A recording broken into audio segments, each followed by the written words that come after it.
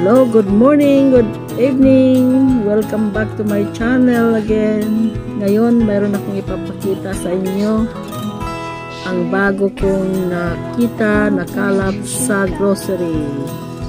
Kaya ito po yung niyog na bago kong nakita na niyog na apat ang mata.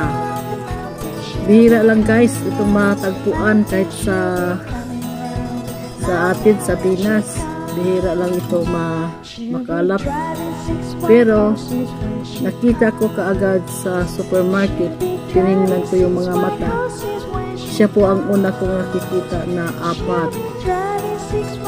Guys pangatlo na po itong uh, niyog na nakukuha ko sa grocery. Nabibili ko po sa grocery. So ito po yung mga kasama. Nakabili rin ako ng mansanas, apple na green. Kasi sabi ng mga doctors, ang apple na green, maganda raw sa katawan natin kaysa yung mga kulay na pula. Kaya ito daw ang green. Mabisa daw ito sa kalusugan natin. Kaya guys, keep watching ng aking channel. Sana hindi kayo magsawa manonood ng aking video So, shout out sa lahat kong mga subscribers. Yung lahat na nanonood ng aking channel.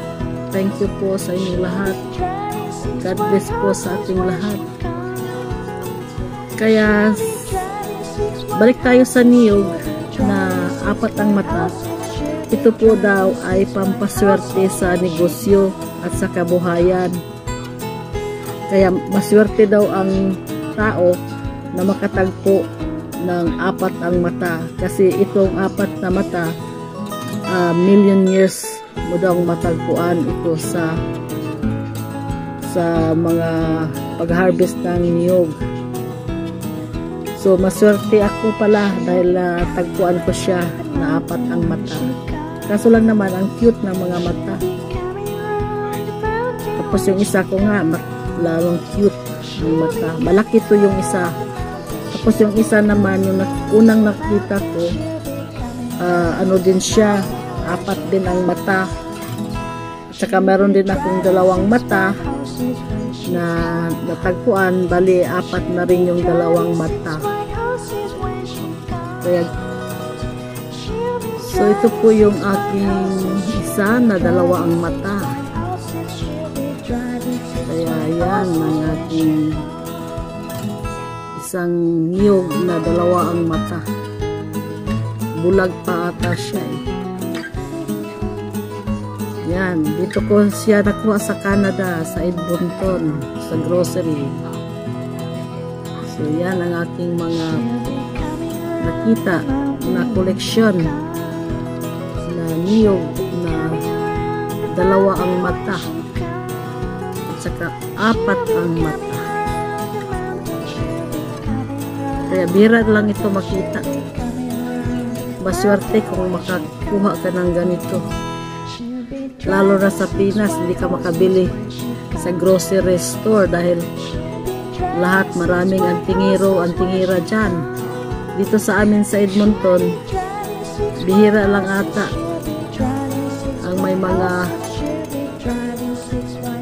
mahilig sa mga mga mutya sa kalikasan. Kaya ito po yung aking apple. Magkasama sila. Masarap daw ito. Apple. Crunchy. Medyo maasim. Kunti. Pero maganda raw sa kalusugan ang green apple. Kaya binili ko ngayon is a green apple. Okay guys. Thank you so much for watching ng aking YouTube channel. God bless. Thank you. Shout out sa lahat ko mga sub sub subscribers. Thank you po. Bye-bye. I'm gonna buy the apple.